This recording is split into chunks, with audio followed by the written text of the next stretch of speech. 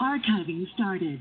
Hello, I'm Matt Wasowski, WIMBA's Senior Director of Customer Programs, and I want to welcome you to this WIMBA capability clip discussing why Anytime Anywhere impacts student engagement, delivering course content MP4.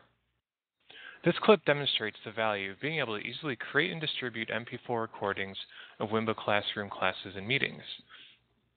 It is now widely acknowledged that making class material available for later review is essential for both online and face-to-face courses. In fact, according to a recent study by the University of Wisconsin at Madison, 82% of undergrads said they classes that record and stream lecture content as a complement to live delivery. This fact is particularly compelling because a 2009 survey found that only 33% of institutions routinely make captured lectures available to students online. Many students enjoy being able to review classes afterwards so they can pay more attention to their instructors during the live class instead of losing focus by notes.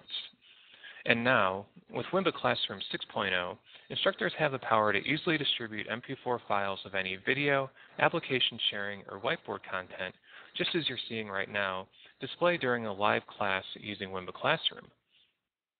Instructors can easily post these recorded MP4 files to CMSs such as Blackboard, Angel, and Moodle, or to YouTube, iTunes University, Facebook, or to other content management systems. Start gain tremendous flexibility in accessing content online or offline from not only their computers, but also from their iPods, iPhones, and other MP4 players. Okay, now let's take a look and see just how easy it is to set up MP4 recordings of live classes.